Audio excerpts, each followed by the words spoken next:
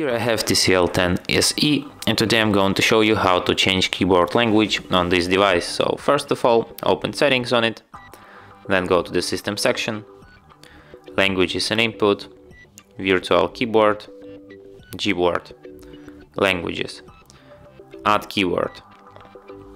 And here you have the whole list of languages which you can type on this device. Let's select for example Greek and tap done. And let's try to write something in Greek language now. And as you can see, now I have Greek keyboard on my device here. And that's it. Thanks for watching. If you find this tutorial useful, don't forget to hit that like button and subscribe to our channel.